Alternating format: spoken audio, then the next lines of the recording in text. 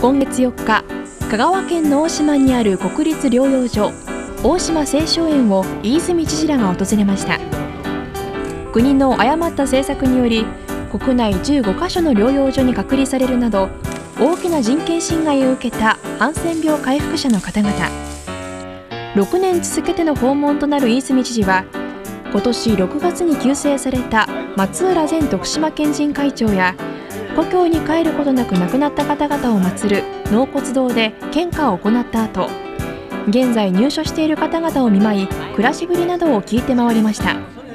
前向きに、ね、忘れはせんけどもハンセン病回復者の皆さん方の、まあ、芋をさせていただいたんですけどね。もっと徳島の皆さんまた全国の皆さんに知ってそして理解をしていただいて二度とこうした事案を引き起こさない、まあ、そうした思いを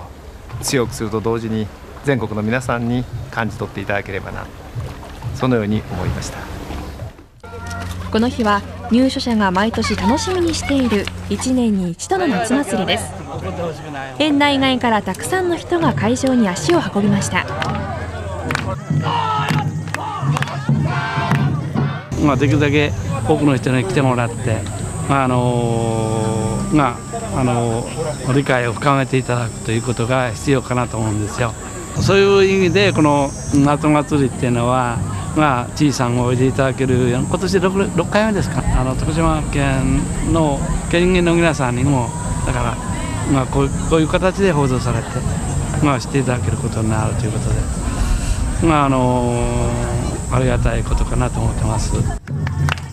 夏祭りでは園内の方に一足早い阿波踊りを体感してもらおうと昨年に引き続き三好市のもみじ連が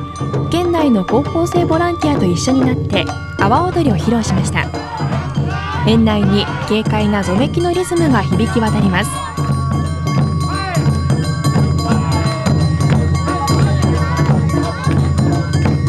やっぱり先輩とかもやっていたんでまあやってみようかなと思いましたいろんな形で触れ合っていきたいと思います。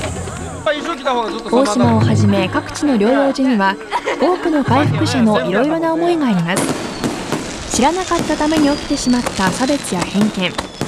このようなことを繰り返さないために私たちに何ができるか。一人一人がよく考えてみましょう。